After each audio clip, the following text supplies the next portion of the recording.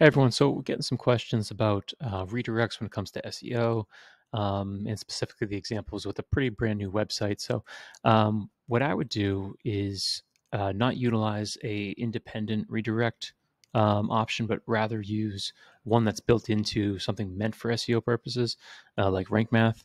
Um, one of our most popular blogs last year was this article of Rank Math Rank Math versus Yoast, and you know the battle between the two. And uh, long story short, we think Rank Math uh, is way better than Yoast. Um, and one of the reasons is that it builds in a lot of new uh, technologies and other things you get from other pl- uh, plugins in one uh, plugin, their own, and it's like super lean with the code.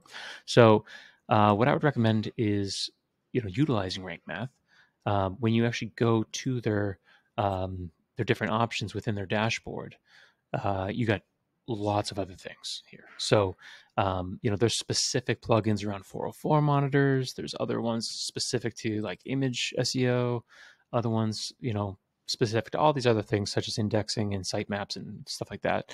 Um, it's all built into one here, which is pretty sweet. Uh, and the other one, and the purpose for this video was redirects. So, um, you know, there's tons of plugins for that.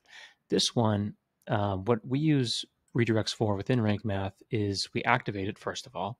Uh, then it shows up here on the left sidebar for redirections. If you go into the settings for it, uh, you get a few different options here. Uh, one is a debug debug redirect. Um, I wouldn't use that one. Don't do that one. Um, it just it's just looks messy, and I know it's ad, admins only. You don't even need it. Uh, what I would do is this one. This is probably the most useful one. Is auto post redirect. So auto post redirect just means that if you were to change the title in anything from you know example one to example two, uh, it's going to automatically put the redirect in place. So it's going to do that at a 301 permanent move, which is what we want when it comes to redirects. Um, and you know you can have some fallback behaviors of you know if something doesn't work um, or if something's not indexed, you don't want some somebody to see something, it's private. You can have a fallback of like default to a 404 page, redirect to the home page, and there's other you know custom redirections that you can do within that. But uh, for us, when it comes to this redirects, there's a bunch of ways to do it.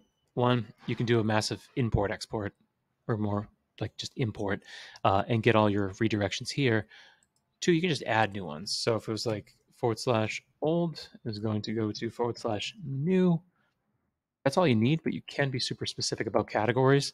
So I'm just going to add that and then it shows up here. So the old is going to go to the new and all done. It's automatically done. You don't have to do it from the hosting level or anything else. It's just, it's in here. It works.